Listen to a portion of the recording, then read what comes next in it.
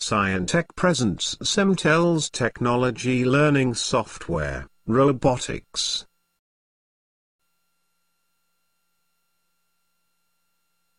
In this lecture of stepper motor, we will understand the following topics. First let's understand, what is stepper motor? Stepper motor or step motor is a brushless or synchronous motor, which divides a full rotation into a number of steps. A stepper motor rotates in discrete step angles, such as 30, 15, 5, 2.5, 2 and 1.8. By construction, the step motors come into three broad classes, that is, permanent magnet stepper, variable reluctance stepper and hybrid stepper motor.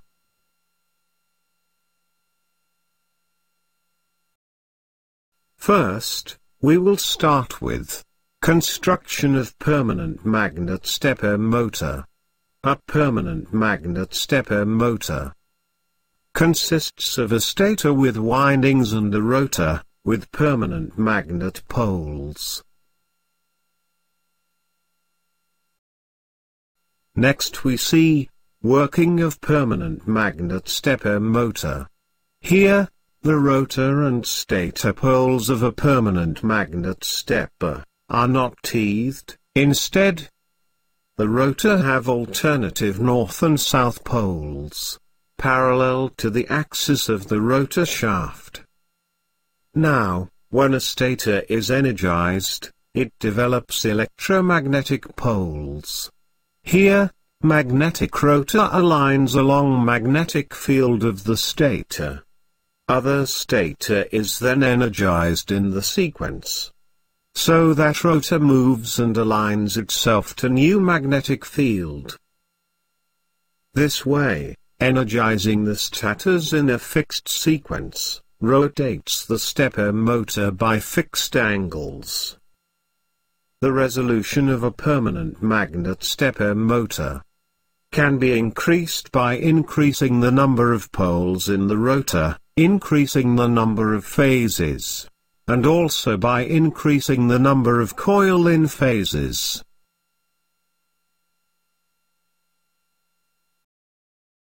Now let's see construction of variable reluctance stepper motor in variable reluctance stepper motor. The rotor is teethed and made of metal, but it is not permanently magnetized. Now, working of variable reluctance stepper motor. The variable reluctance stepper has a toothed non-magnetic soft iron rotor. When the stator coil is energized, the rotor moves to have a minimum gap between the stator and its teeth. Here, as we see, the teeth of the rotor are designed, so that when they are aligned with one stator, they get misaligned with the next stator.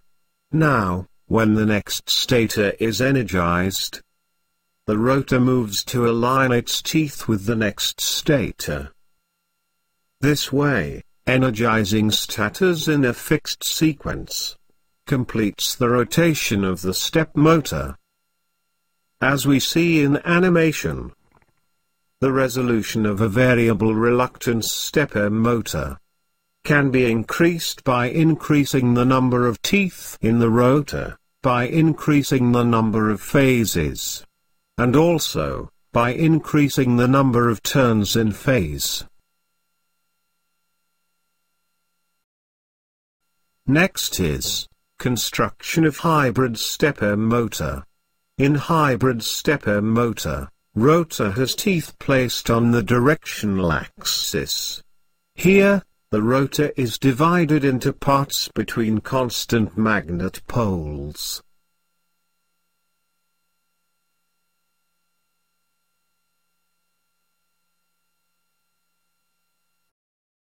Now, Working of hybrid stepper motor. A hybrid stepper is a combination of both permanent magnet and the variable reluctance. It has a magnetic teethed rotor, which better guides magnetic flux to preferred location in the air gap.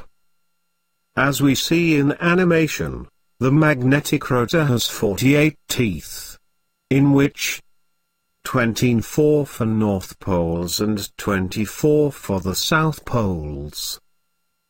The rotor teeth are designed, so that the north and south poles arrange in alternative manner.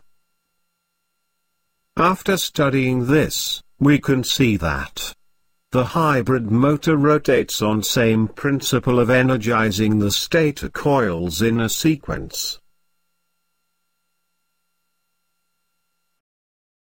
Next we see, stepping modes of stepper motor.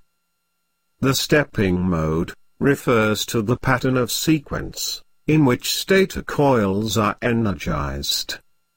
There are three stepping modes of a stepper motor, that are, wave drive mode, full drive mode, and half drive mode. First is, wave drive mode. In wave drive stepping mode, only one phase is energized at a time. This method is very inefficient and produces less torque than other methods. Next is full drive mode.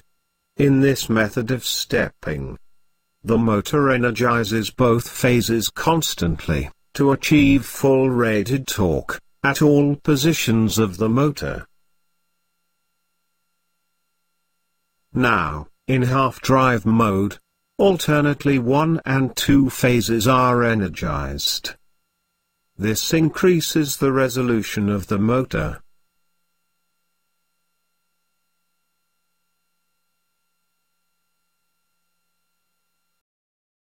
Here, we see a program to interface stepper motor with 8051 microcontroller in wave drive stepping modes. As you can see in program, it is a header file for 8051 microcontroller programming. First, we define the port P2 as output port. Now, defining the main function. Here, while 1 provides infinite loop. Now, sending 0x01 to port P2, by this, stepper motor rotates by one step. After that, we provide delay. Here, we define our delay function. Now, defining integer i. In this loop the value of i time is 350, so this loop run from the value 0 to 350. Now, same process is applied, and stepper motor rotates continuously.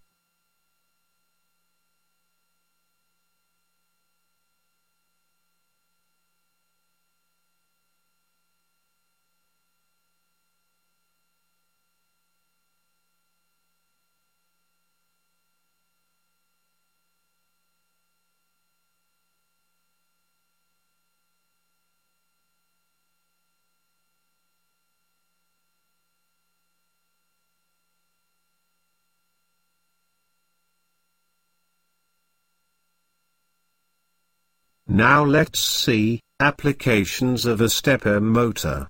Stepper motors are used in a wide variety of applications, in industry, computer peripherals, business machines, motion control and robotics, which are included in process control and machine tool applications.